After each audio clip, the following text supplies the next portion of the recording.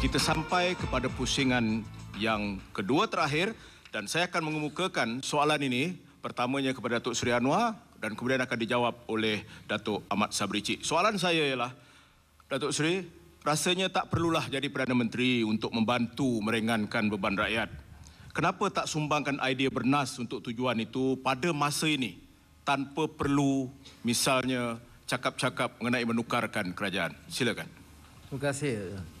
Uh, ini yang sebab saya ikut serta ni. Saya bukan Perdana Menteri. Bahkan nasib saya satu dua hari ini belum tentu ke mana. Tetapi saya memilih untuk hadir kerana saya rasa kerajaan juga kawan-kawan saya dalam UMNO Barisan Nasional harus beri peluang untuk dengar. Ini bukan suatu soal yang partisan hanya khusus untuk Pakatan Rakyat. Kalau cadangan ini diterima, dilaksanakan, kita akan menyokong tindakan mereka.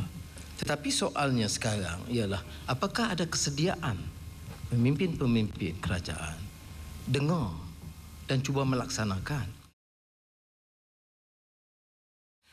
Saudara penonton yang saya hormati sekalian, tugas saya hanyalah sebagai pengantara, maka itu saya memohon kerjasama kedua-dua tokoh ini untuk mendebatkan isu ini secara terbuka, profesional dan beretika.